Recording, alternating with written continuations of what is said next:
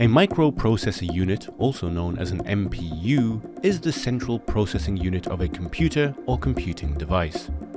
It processes information, decides actions, and interprets signals. MPUs can be found in many devices, ranging from computers and smartphones to embedded systems in cars and appliances. Imagine a smart home system that adapts to your preferences.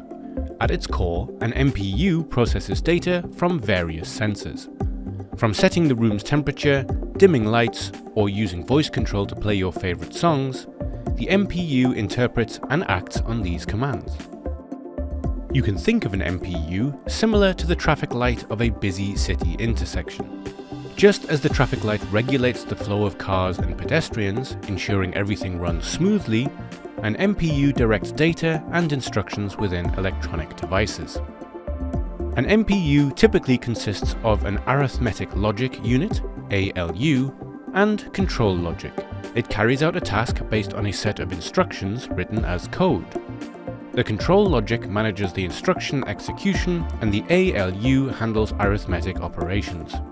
MPUs are defined in terms of bandwidth, clock speed, and word length.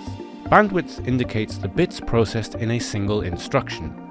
Clock speed is how fast the MPU operates, in megahertz or gigahertz, and word length describes the internal bus architecture which can vary from 4 to 64 bits. Additionally, MPUs support various data types including binary, BCD, ASCII, signed and unsigned numbers. Over time, processors have advanced to accommodate more transistors, larger data, and additional on-chip features.